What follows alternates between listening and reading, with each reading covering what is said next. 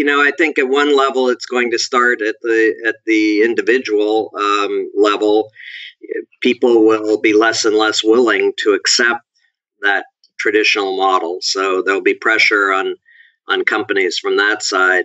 I think that uh, companies uh, pursuing change, particularly if you're talking about large companies, is an extremely challenging um, undertaking.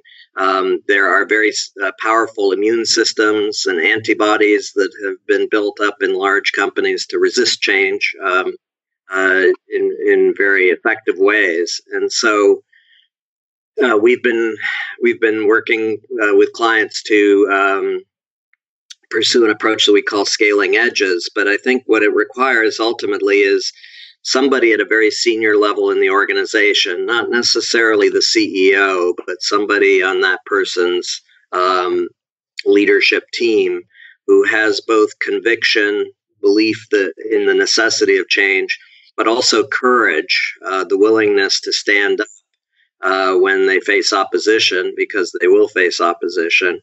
Um, so the courage to actually continue to pursue that change, even in the face of resistance. And then finding a, a group of people within the company who uh, have sufficient passion that they will be willing to experiment, that they'll be willing to take risks, and willing to, again, resist opposition because they will encounter it.